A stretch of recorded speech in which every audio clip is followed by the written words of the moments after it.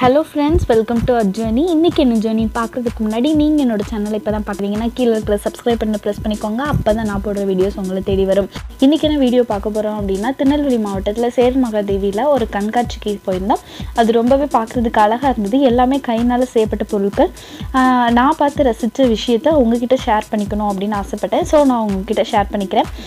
இது எல்லாமே கையினால் செய்யப்பட்ட பொருள். வாழை வாழை நார் கற்றாழை அதுக்கப்புறம் பனை ஓலை இந்த மாதிரி திங்ஸை யூஸ் பண்ணி தான் இதெல்லாம் செஞ்சுருக்காங்க. ரொம்ப அழகாக செஞ்சுருந்தாங்க. பேக்ஸு அப்புறம் குட்டி பர்ஸ் அதுக்கப்புறம் பாக்ஸஸ் அதுக்கப்புறம் பூ வைக்கிறதுக்கான ஒரு ஸ்டாண்ட் மாதிரி பென் ஸ்டாண்டு பூக்கள் அப்படி நிறைய செஞ்சுருந்தாங்க. அது மட்டும் இல்லாமல் பத்தமடையில் ஃபேமஸான பாய் எல்லாமே வச்சுருந்தாங்க. அது மட்டும் இல்லாமல் மண் பாண்டங்களும் நிறைய செஞ்சு வச்சுருந்தாங்க. அதுவும் பார்க்க அழகாக இருந்தது. நான் பார்த்து ரசித்த விஷயத்த உங்ககிட்ட ஷேர் பண்ணிக்கிட்டு நீங்களும் பார்த்து என்ஜாய் பண்ணுங்கள்